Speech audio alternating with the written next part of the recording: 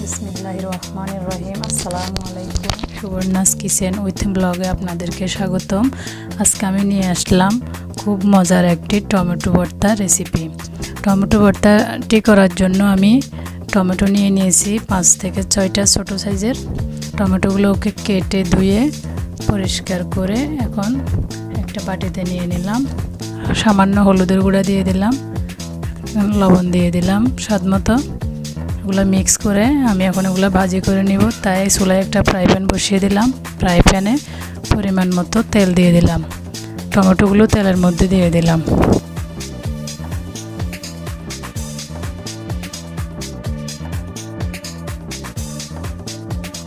এখন আমি টমেটোগুলোকে উল্টিয়ে দিব।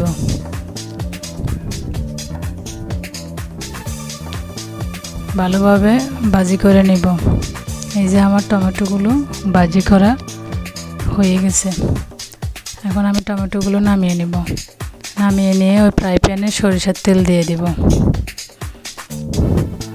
তেল গরম হয়ে গেছে, এখন আমি কয়েকটা রসুনের কোয়া দিয়ে দিলাম।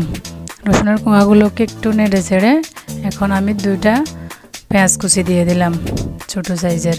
পেঁয়াজ এবং রসুনগুলো আমি ভালোভাবে নেড়ে নিব। একটু ভাজা ভাজা হয়ে গেছে, বেশি ভাজি করব না। ভর্তার সাথে আমি এভাবে যদি একটু তেলের উপরে ভাজি করে নিই, তাহলে আমার ভর্তাটা আমি অনেকক্ষণ সংরক্ষণ করতে পারব। এখন আমি পেঁয়াজগুলোকে এক পাশ করে এখন চারটা শুকনো মরিচ দিয়ে দিলাম, এগুলোকে ভাজি করে নিব।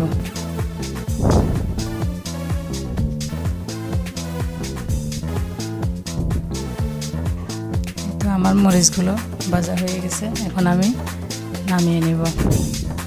এখন আমি আগে থেকে বাজি করে রাখা টমেটোগুলোর খোসা ছাড়িয়ে নিব।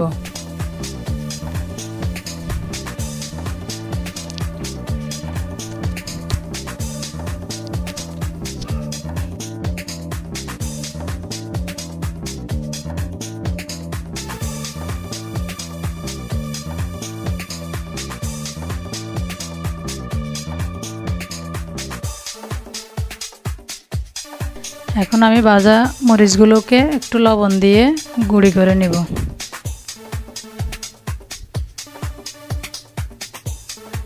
এই যে গুঁড়ি করা হয়ে গেছে।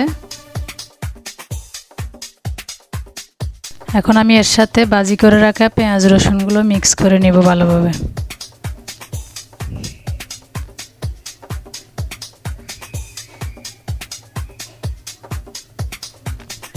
মিক্স করা হয়েছে। এখন আমি ধনে পাতা কুচি মিক্স করে দিব।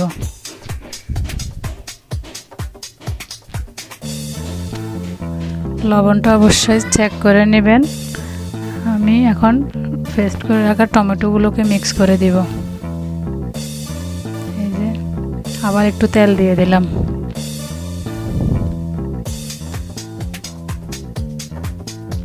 এখন আমি ভালোভাবে মিক্স করে নিব তেলগুলো।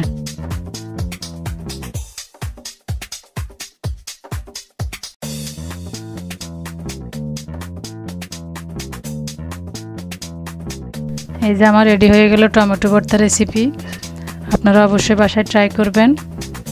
এটি গরম ভাতের সাথে খেতে খুব ভালো লাগে। রেসিপিটি যদি ভালো লেগে থাকে, তাহলে অবশ্যই আমার চ্যানেলটি সাবস্ক্রাইব করবেন লাইক করবেন কমেন্ট করবেন ফলো করবেন। এতক্ষণ পর্যন্ত সবাই সুস্থ থাকবেন, ভালো থাকবেন। আল্লাহ হাফেজ।